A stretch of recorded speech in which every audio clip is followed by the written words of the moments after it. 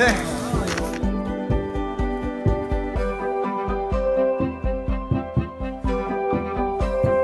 belle, belle jeune fille, magnifique. Et les trois frères est amoureux